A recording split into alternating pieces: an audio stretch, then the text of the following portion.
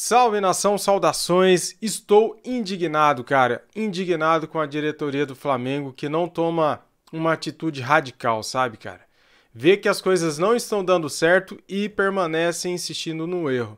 Nos últimos 10 dias perdemos 3 jogos. Nos últimos 6 jogos perdemos 4. Aonde isso vai parar? Cara, ó, sinceramente, sinceramente, tomara que eu esteja errado.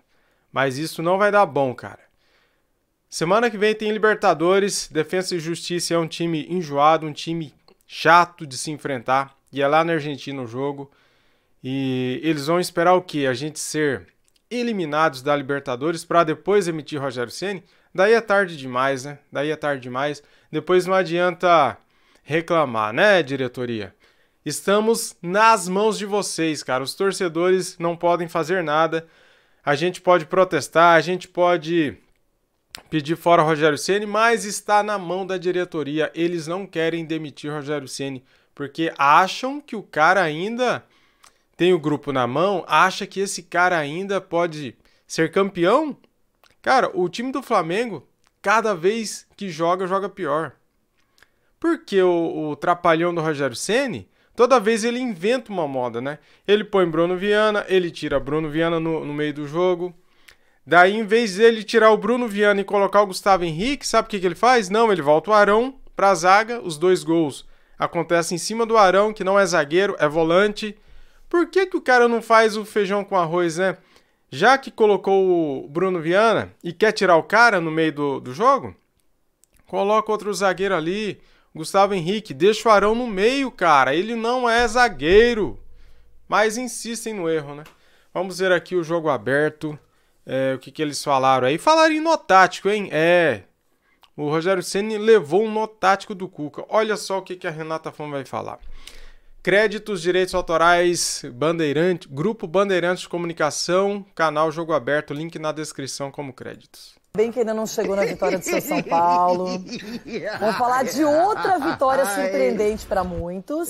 O Galo bateu o Flamengo por 2 a 1 Teve a volta do Arrascaeta, só que técnico Cuca montou um esquema diferente, surpreendeu o Rogério Ceni. Tem aquele nozinho tático, não é? E venceu a partida o Galo por 2 a 1 No Mengão, claro, pressão para cima do Rogério Ceni. Pra variar, né? A mesma coisa de sempre. Um dos clássicos mais tradicionais do país. Mais uma vez em um Mineirão vazio. Vazio de torcedores, mas cheio de futebol. Atlético e Flamengo buscaram o jogo o tempo todo. Apertando a saída de bola, o Alvinegro quase marcou com o Savarino. O rubro-negro tentou no chute de Pedro. A pressão do Galo era grande. Faltou força para Arana e mais confiança para Júnior Alonso. Na segunda etapa, Rogério Ceni fez duas alterações. Tirou Bruno Viana e Isla para a entrada de Hugo Moura e Mateuzinho. Arão foi para a zaga e com poucos minutos viu o Atlético marcar. Mariano cruzou, Zaratio de calcanhar tocou para Hulk e no bate rebate a bola sobrou para Savarino. 1 a 0. Dois minutos depois, Hever encontrou Mariano, que passou pela marcação e tocou para Savarino livre ampliar 2 a 0. O Galo administrava o resultado e tentava aproveitar as oportunidades. A Rascaeta tentou de cabeça e de fora da área. Na cobrança de escanteio, Arão diminuiu. Pressão rubro-negra e a Rascaeta teve a chance do empate, mas parou em Everson. Final Atlético 2, Flamengo 1. É sempre importante vencer quando está no Flamengo, você tem que ganhar. Você não pode perder uma partida em 10 dias, que dirá três partidas. Eu entendo todas as críticas, as, as reclamações. Minha relação e meu trabalho com os atletas é o mesmo do primeiro dia. Eu os trato da mesma maneira e eu sinto o mesmo retorno de cada um.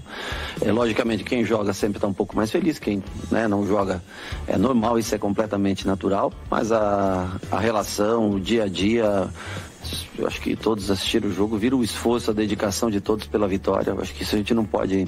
Foi um jogo muito, muito, muito próximo. Se você olhar em números, foi um jogo muito parelho, muito próximo. Mas eu sigo o meu trabalho, cara. Eu sigo fazendo o melhor que eu posso em todos os dias de, de trabalho lá no CT. Além de se assegurar no G4, o Atlético ganha moral para a sequência. Clássico contra o América no sábado e Boca na Bomboneira na próxima terça-feira. A gente tem que ir sempre com o pé no chão, procurando melhorar em cima do que a gente pode, né? É, sabendo que se treina muito pouco. Então essa vitória ela dá confiança para que a gente utilize o esquema que você quiser, que a vitória, quando você tem, ela te dá liberdade para isso. É a verdade do futebol.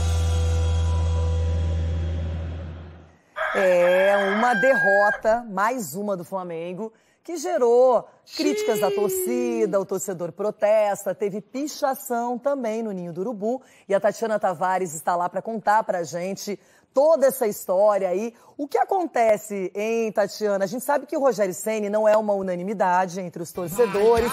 Toda vez que o Rogério e o Flamengo perdem, aparece a figura do Renato Gaúcho. Imagina o Flamengo, nem pensar. Tatiana, para você, boa tarde. Conta essa frustração aí do torcedor. Tem jogo com a Chapecoense no final de semana, vai virar obrigação, aquela história toda, não é?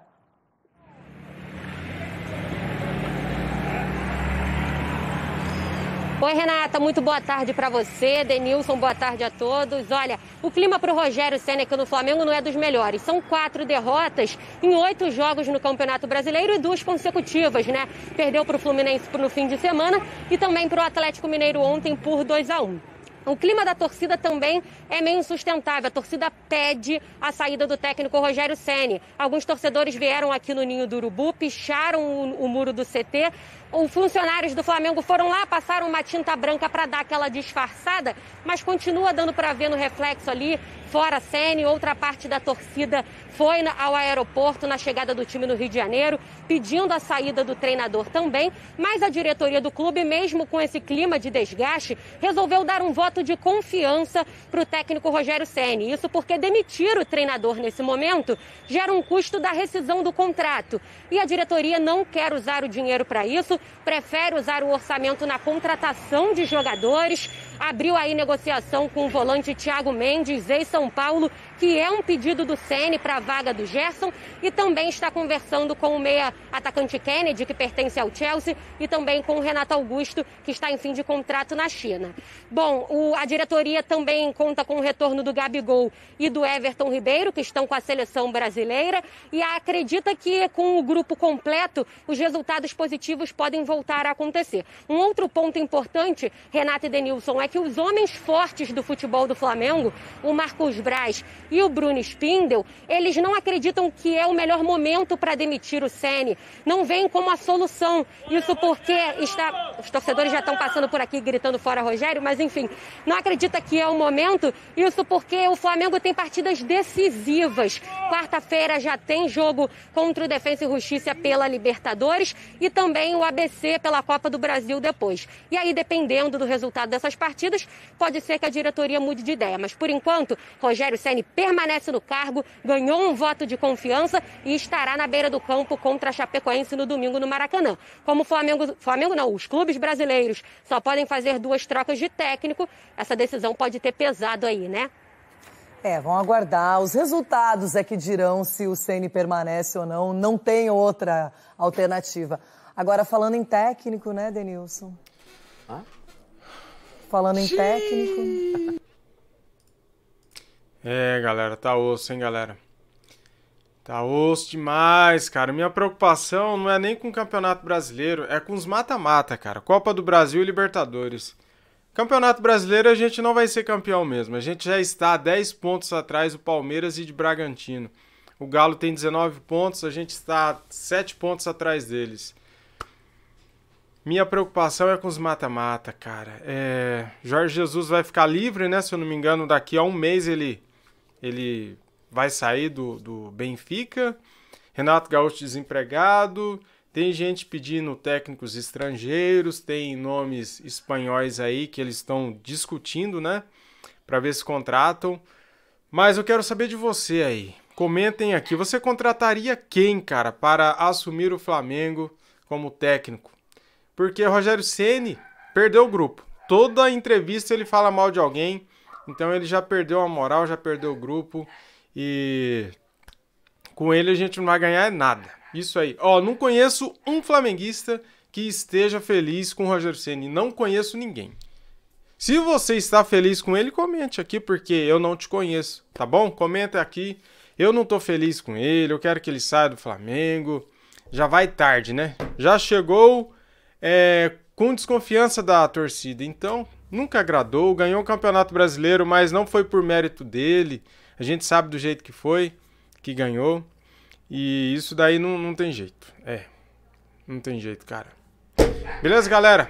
Mais um vídeo triste aqui pra nós. É um, um, um, um vídeo depois de uma derrota. É, é frustrante, é triste pra caramba. Valeu, galera. É nóis. Tamo junto.